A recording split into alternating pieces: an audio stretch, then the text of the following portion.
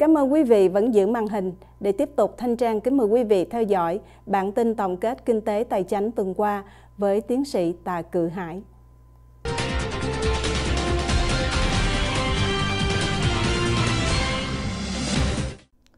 Kính chào quý khán giả của SBTN. Chúng tôi là Tạ Cự Hải từ thủ đô Washington DC và sau đây là bản tin tổng kết kinh tế và tài chính tuần qua. Thị trường chứng khoán cuối tuần thứ sáu mùng 3 tháng 5 2019, Dow Jones 26.504.95, Week Today trừ 0.14% và Year Today cộng 13.62%. Nasdaq 8.164, Week Today cộng 0.22% và Year Today cộng 23.04%. S&P 500 2945.64, Week Today cộng 0.20% và Year Today cộng 17.50%. Giá vàng là 1.280 đô la 40 cent một ounce, căn cứ vào thứ Sáu mùng 3 tháng 5 2019. Giá dầu thô 61 đô la 87 cent một barrel, cũng căn cứ vào thứ Sáu mùng 3 tháng 5 2019. Giá xăng 2 đô la 895 một gallon, căn cứ vào dữ kiện từ công ty AAA thứ Sáu mùng 3 tháng 5 2019.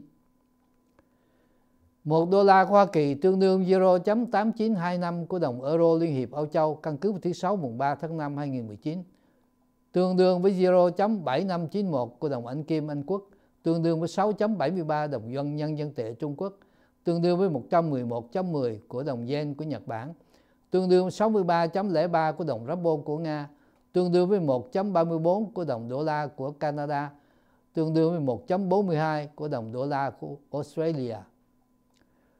Lãi suất mortgage theo công ty Freddie Mac thứ năm ngày 2 tháng 5 2019, 30 năm cố định là 4.14% và 15 năm cố định là 3.6%. Tình trạng thất nghiệp Tuần lễ kết thúc thứ Bảy ngày 27 tháng 4 2019 có 230.000 người xin hưởng quyền lợi thất nghiệp lần đầu, không thay đổi so với tuần trước đó, đánh dấu 217 tuần lễ liên tiếp, số người xin hưởng quyền lợi thất nghiệp lần đầu vẫn dưới mức 300.000 người. Tuần lễ kết thúc thứ Bảy ngày 20 tháng 4 2019, Mỹ có 1 triệu 671.000 người đang hưởng quyền lợi thất nghiệp, tăng 17.000 so với tuần lễ trước đó. Kinh tế Mỹ trong tháng 4 2019 đã cung cấp 263.000 việc làm mới, vượt xa sự kỳ vọng của các chuyên gia kinh tế. Sự thuê mướn nhân công rất mạnh trên phần lớn các khu vực kinh tế, đặc biệt khu vực phục vụ doanh nghiệp đã cung cấp 76.000 việc làm, xây cất 33.000, y tế 27.000. Tỷ số thất nghiệp của tháng 4 xuống mức 3.6% là mức thấp nhất trong gần một nửa thế kỷ, hay nói một cách khác là 49 năm kể từ năm 1969.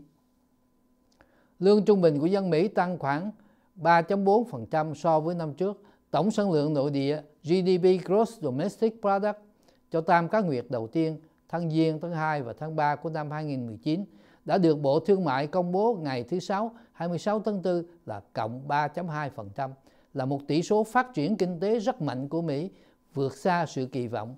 Theo lịch sử của tổng sản lượng nội địa, GDP, tỷ số GDP của Tam Cá Nguyệt đầu năm thường rất thấp. Trong 3 tháng đầu năm của 2019 đã gặp rất nhiều khó khăn như thứ nhất là chính phủ đóng cửa, thứ nhì thời tiết khắc nghiệt, thứ ba hãng Boeing đã bị tai nạn với phi cơ 737 MAX, thứ tư, sự lo sợ vì cuộc chiến mậu dịch căng thẳng và thứ năm, tiền giảm thuế trước đây đã dần dà phai nhạt theo thời gian. Khó khăn như vậy mà tỷ số GDP vẫn 3.2% đã chứng tỏ rằng chính sách phát triển kinh tế của Tổng thống Donald Trump và nội các của ông đã thành công vĩ đại, đúng như lời ông hứa khi ra tranh cử. Bình luận về kinh tế Mỹ Tuần qua thị trường chứng khoán Wall Street của Mỹ có hai chỉ số đi lên và một chỉ số đi xuống. Chỉ số Dow Jones giảm không đáng kể trừ 0.14%. Chỉ số Nasdaq tăng cộng 0.22% và đạt mức kỷ lục mới. Và S&P 500 tăng cộng 0.20%. Riêng ngày thứ Sáu mùng 3 tháng 5, thị trường chứng khoán thế giới có chỉ số Nikkei 225 của Nhật giảm trừ 0.22%. Hong Kong Hang Seng tăng cộng 0.46%, London FTSE 100 tăng cộng 0.40%, Shanghai Composite tăng cộng 0.52% và chỉ số DAX của Đức tăng cộng 0.55%. Cùng ngày thứ Sáu mùng 3 tháng 5, Dow Jones đã tăng 197 điểm 16 hay cộng 0.75%. Chỉ số Nasdaq tăng cộng 1.58% và S&P 500 tăng cộng 0.96%. Đại công ty Google của Alphabet hôm thứ Hai 29 tháng 4 cho biết giờ đây công ty đã có hơn 100.000 nhân viên hay chính xác hơn là 103.549 trong 3 tháng đầu năm 2019 so với 85.050 nhân viên của đầu năm trước. Trong 3 tháng đầu năm 2019, Google đã có con số thu nhập là 36.3 tỷ đô la với 85% đến từ ngành quảng cáo doanh nghiệp. Công ty Subway là hệ thống fast food lớn nhất thế giới với tổng số khoảng 42.000 restaurant, khoảng 17% nhiều hơn số tiệm của McDonald's. Công ty Subway có khoảng 24.000 tiệm tại Mỹ. Subway đã đóng cửa hơn 1.000 tiệm tại Mỹ năm rồi để trùng tu theo kế hoạch mới.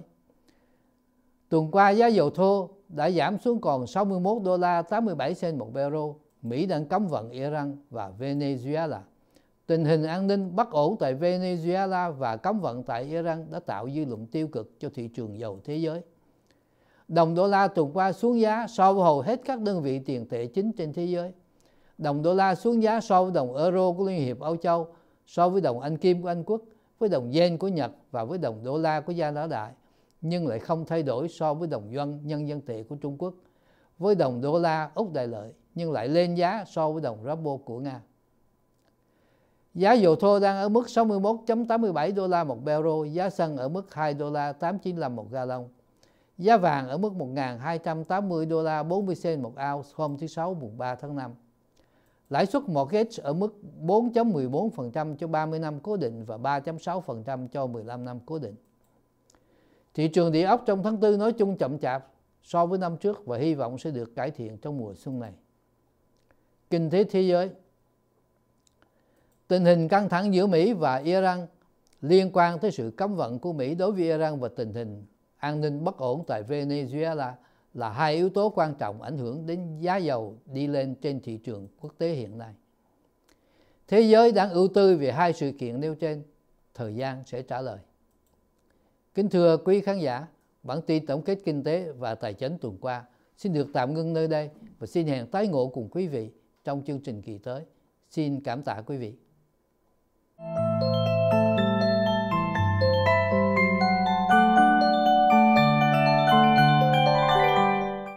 Cá phó, gia đình chúng tôi vô cùng đau buồn báo tin đến bằng hữu quyến thuộc, bạn hữu xa gần, cha, anh, ông nội, ông ngoại, ông cố của chúng tôi, ông Trần Văn Trơn, cựu đề đốc tư lệnh Hải quân Việt Nam Cộng Hòa, sinh ngày 24 tháng 9 năm 1920 tại Vũng Tàu, Việt Nam, tạ thế ngày 2 tháng 5 2019 tại San Jose, California, nhằm ngày 28 tháng 3 năm kỷ hợi, hưởng đại thọ 100 tuổi.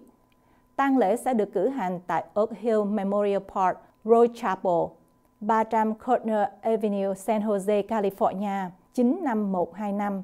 Điện thoại số 408 297 2447. Chương trình tang lễ và thăm viếng, thứ Sáu ngày 17 tháng 5 2019 từ 9 giờ 30 sáng đến 11 giờ sáng lễ nhập quan và phát tang. Từ 11 giờ sáng đến 9 giờ tối thăm viếng. Thứ Bảy 18 tháng 5 2019 từ 8 giờ sáng đến 10 giờ 30 sáng lễ tế điện cầu siêu theo nghi thức cao đài. Từ 10 giờ 30 sáng đến 1 giờ 30 trưa lễ phủ cờ do Hội Bạch Đằng phụ trách. Từ 1 giờ 30 trưa đến 2 giờ trưa lễ di quan và hạ huyệt. Tang gia đồng kính báo, cáo phó này thay thế thiệp tàn xin miễn phúng điếu và vòng hoa.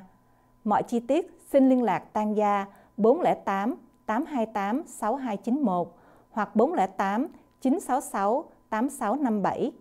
Toàn thể nhân viên và ban biên tập SPTNDC, VATV, Đài Phát thanh Hoa Thịnh Đốn, Cao Đài Foundation, Đại đạo Thanh niên Hội Hải ngoại Thánh thất cao đài Wichita, Kansas, Thánh thất New Orleans, Louisiana, Thánh thất cao đài Garland, Texas, Thánh thất cao đài San Jose, Thánh thất cao đài Nam California, Thánh thất cao đài Sacramento, California, Thánh thất cao đài Nashville, Thánh thất Sydney, Úc Châu, và các cơ sở hành chánh đạo tại hải ngoại, thành kính phân ưu.